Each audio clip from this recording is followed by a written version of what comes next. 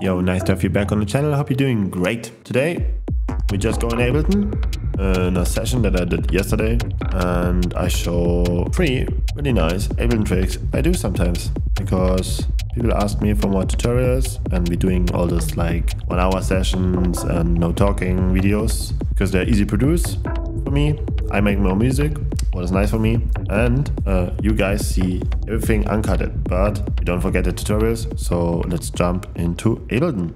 So in Ableton I have this uh, recording here, and what I did is um, we just have this, well, I don't know, sound here, recorded, toms. Mm -hmm. And we warp it, we loop it, and then I go on tones and put the grain size on 22, something like this. Find sweet spot that I like to here, I don't know, here, there, maybe there, and this keeps like this. So, and then you already will hear.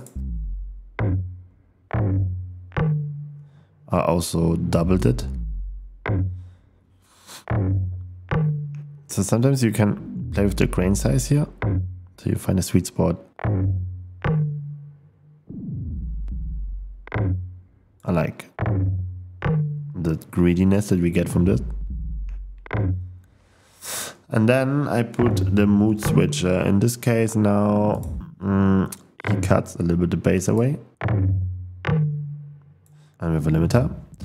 And then I put the corpus in membrane mode just to give this overtones a little bit more like, yeah, you hear better what's happening and it gets this nice character. Find the sweet spot.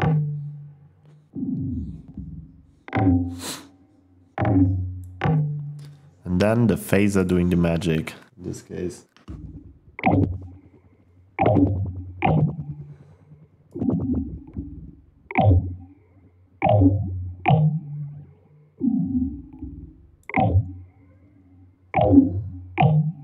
Find the right center. We're having low frequencies, so let's go down. Ah, A bit less feedback here.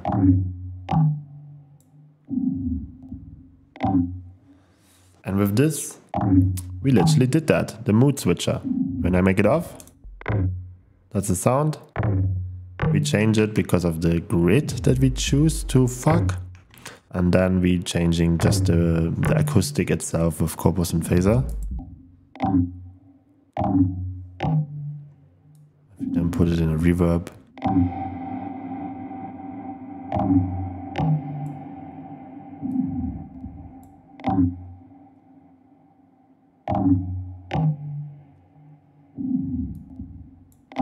So that's one thing. If I did anti-solo this, kill this, and show you this a little bit in context, um, I put that here where like I put the mood switcher and I have this like loopy sound here. Let's go somewhere where it's playing properly. Of course, this one is not playing here. I ah, know, we just have to go in the arrangement. Yeah, so uh, I have it here, the mood switcher. And what I did here is like, we have this loop. Just simple. And then the mood switcher, what is the same here? Just put that. So I put a lot of feedback here.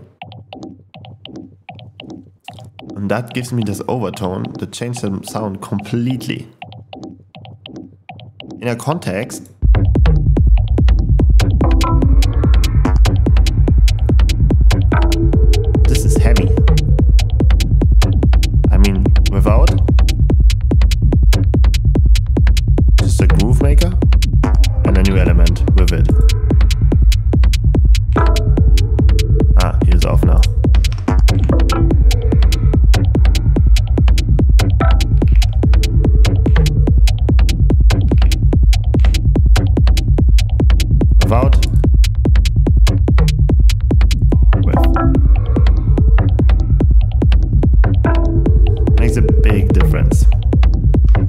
Yeah, use this function here a lot to get like a nice shaping gritty sound and uh, shape it a little bit out. Um, and then corpus phaser combination gives you a weird psycho acoustic. And then the third thing I want to show you is actually my master chain because I simplified it as fuck yesterday just for uh, yeah, finish this track in a way that I can just play it. And this is bouncy now because I have Roar as a mastering chain. A bit of EQing and a, a limiter, that's it. Without the mastering, of course it's more quiet, but like you can hear what I mean.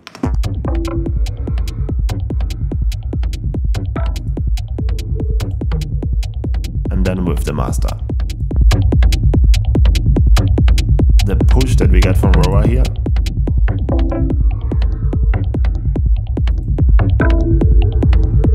nice. And the thing is, in Roar you have the routing and you can make a multiband. So you can like split the mids and the highs. And I can just, I don't know, push a little bit here the bass, push a little bit the mids because this track is li really living from the low mids. And then the highs, the shakers.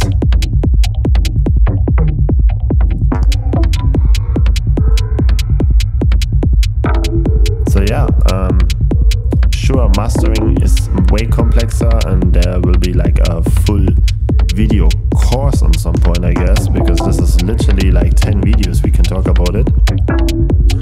But